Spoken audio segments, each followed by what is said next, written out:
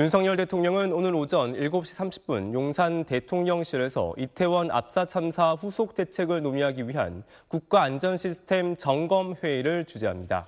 이번 회의에는 관계부처 당국자뿐만 아니라 일선 지방자치단체 공무원과 민간 전문가까지 참여해 현 재난안전관리 체제, 체계를 진단하고 제도 개선책을 논의합니다.